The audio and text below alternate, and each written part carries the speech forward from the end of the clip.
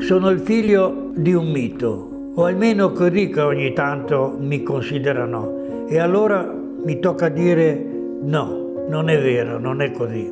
Sono figlio di Aldo Cervi e di Verina Castagnetti e a dire la verità un po' ce l'avrei su con questo mito, perché si è portato via mio padre, se l'è mangiato così in un solo boccone, mi ha lasciato in cambio soltanto un nome, una lapide e poi fare di lui un pezzo di un monumento unico, una statua a sette teste, sette uomini, sette vite, sette morti, sette medaglie.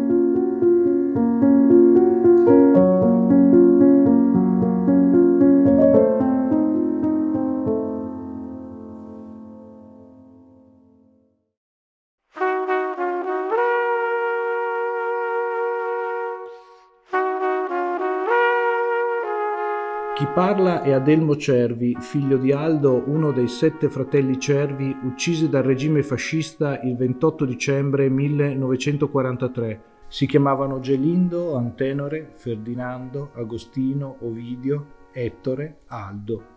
Erano contadini e partigiani catturati, torturati e fucilati nel poligono di tiro di Reggio Emilia ammazzati senza processo come rappresaglia per l'uccisione di un segretario comunale fascista.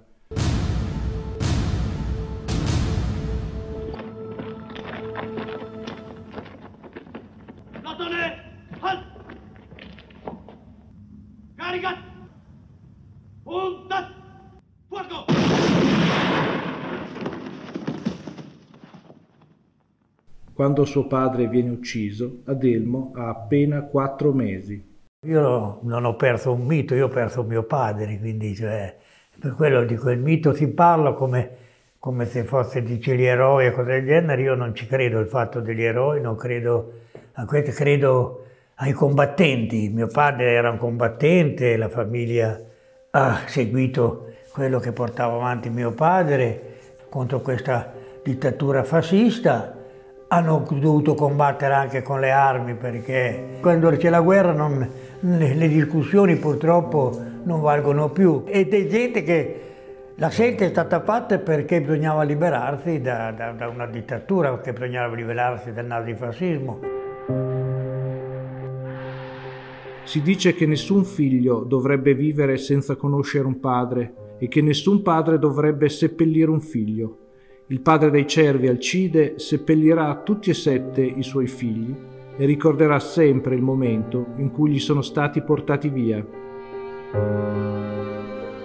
Non avevo capito niente e li avevo salutati con la mano. L'ultima volta, speranzoso che andavano al processo. Loro sapevano, ma hanno voluto lasciarmi l'illusione e mi hanno salutato sorridendo. Con quel sorriso mi davano l'ultimo addio.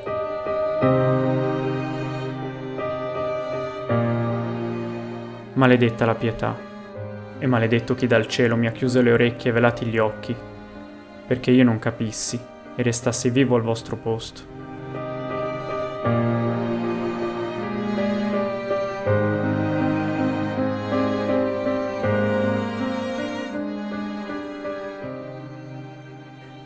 Aver conosciuto un padre, questo desiderio penso che ce l'avrò fino all'ultimo minuto della, della mia vita perché vorrei abbracciarlo, stretto mio padre, ti avrei da dirgli che è, stato, che è stato un grande, che il suo sacrificio non è stato in vano perché lui non l'ha potuto vedere, ma è nata, un'Italia democratica. E vorrei dire a mio padre che, ha, che, abbiamo ancora da imparare molto e che non siamo stati abbastanza eh, pronti a lottare come hanno lottato loro. Sta a noi continuare a combattere. Questo quello che vorrei dire anche per il 25 aprile. Non è finita la lotta contro le ingiustizie, ci siamo addormentati, c'è gente che ha dato la vita perché, per combattere contro le ingiustizie e quando c'era bisogno fino in fondo ha, ha, ha sacrificato la sua vita. Oggi continuavo a sentire dei piagnistei, basta, sono stanco, questa brutta la politica, è un disastro, un disastro, un disastro, quando invece c'era gente che ha dato tutto quello che aveva per poter portarci un po' di libertà.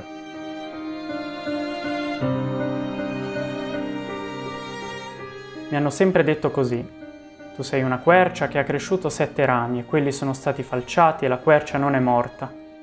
Va bene, la figura è bella e qualche volta piango nelle commemorazioni. Ma guardate il seme, perché la quercia morirà e non sarà buona nemmeno per il fuoco. Se volete capire la mia famiglia, guardate il seme.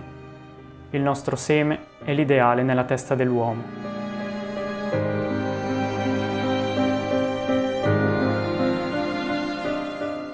nasce e si muore.